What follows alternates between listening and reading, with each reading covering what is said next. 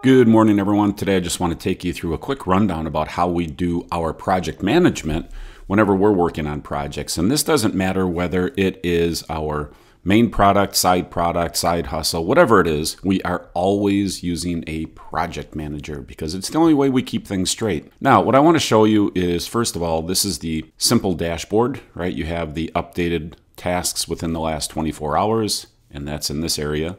Approved within the last 24 hours, You've got the pending approval and the unapproved. And the unapproved are tasks that someone said, hey, this is done. And someone else came along and said, well, mm, not really. It's done, but not done the way we want it done. All right, now off to the right, you see we've got different projects. We have our documentation project. We just use it as a repository of documentation. We've got a Soccer Pro product v4 and then a v5 and then tutorials. Tutorials is just where we make the tutorials and store them. Again, a project manager can be used for active things and it can also be used for, hey, uh, where is this stuff? You know, more or less like a storage repository, database, whatever you want to call it. So this main dashboard covers all the projects. If you have 10, 15 projects going, sometimes you need the universal dashboard of what's going on with all my projects. And you'll see here it shows Soccer Pro product V4. If we were working on multiple projects, it would have all these things listed as updated within this project, updated within that project. But we're only working on one project in this case, so you only see one project listed. But this is the universal, and then this, this is our home, okay, and this is just showing a specific project. All right. Now, the other thing that's real important is how you manage a lot of tasks. So if you look in this particular project, we have 36 tasks. Well, you can't do 36 tasks at once. So we sort them into task lists just to keep them organized. Again, these are like folders. You can create them, name them, sort them any way you want. All right, it's just like folders in your uh, desktop. And then you can have different views. You can either keep them collapsed and look at one task list at a time, or if you want to get a view at all of them, you can do that as well. So we'll just go uh, quick view. If I just want to see you know a couple things. Or if I want to see the standard view now I can look at the status graphically all right?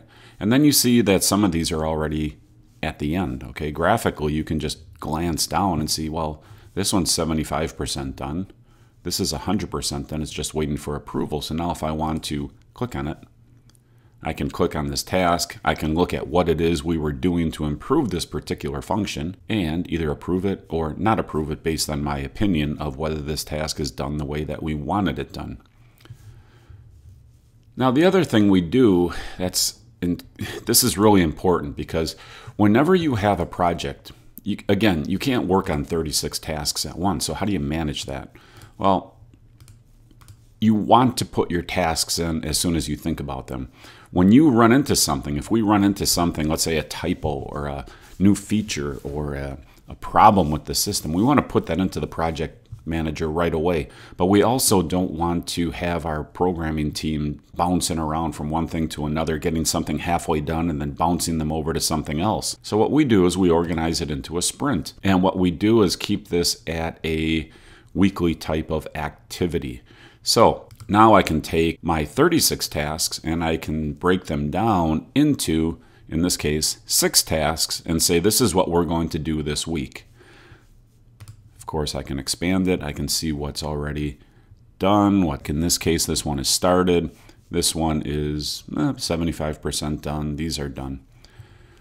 So now I can take my main project, I can break it down into the weekly sprints, and now we can keep everything on track, keep everything organized, keep everyone focused on the main priorities, and not overwhelm them with 36 or 50 or 100 different tasks. That just isn't realistically going to get done this week. So, this is a really easy to use project manager. We use it all the time for every single thing we do, and it makes our lives so much easier. If you're not using a project manager as easy as this one, you should, and it's included. So, why not? All right, I got to get back to work. I just wanted to show you a little bit more insight as to how we operate using the software so that you can maybe get some tips from it and maybe you can copy some of the things we do to help you sell more faster.